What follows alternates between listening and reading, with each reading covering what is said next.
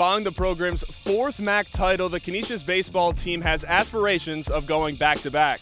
I'm Griffin Della Penna reporting for GoGriffs.com, and this is your 2023 baseball season preview.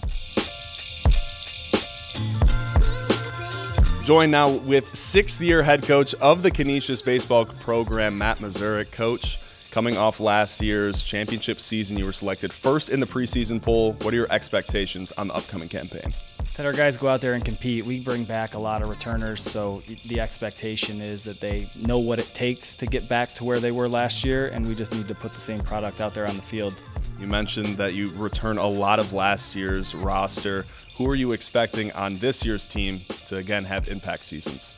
I think it's easy to say guys like Max Grant, Matt Duffy, when you look at the accolades that those two have accrued over time here, but you got some sleepers in there like a Mikey DeStefano and Peyton Consigli who know, it's hard to use the word sleeper because they had such good years last year. Then some just key returners, like expecting Carlin Dick to bounce back. And then on the mound, there's still a bunch of other guys that are gonna, you know, spread their wings and fly, so to speak, this year. And there's a, there's a whole stack of guys that are just, we're waiting to see them finally, you know, fly a bit.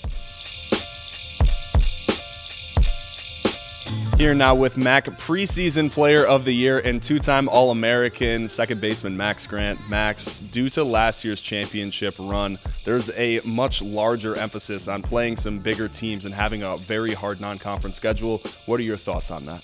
Uh, it's good for us, uh, especially being the preseason team. I think we got to play strong competition right off the bat and not really have anybody to roll over for us. And uh, I think that'll help us down the road, especially.